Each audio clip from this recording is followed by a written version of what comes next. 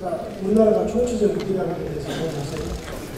국민들에게 다 보고 계셔요. 어디다 막말하세요? 대전의 이장국은 대전 시민들 그렇게 하지 마. 함부로 그래 말하지 마요. 근데 그런 말을 해서 의원들한테. 사과하셔 전체 다 그렇게 아 조용히 하세요 좀. 아이고 아유, 근데 대전 시민이 그런 사람을 국회의원을 뽑아낸다.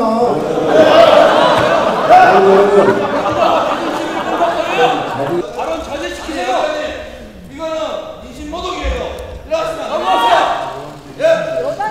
내년 11월 때 서버세요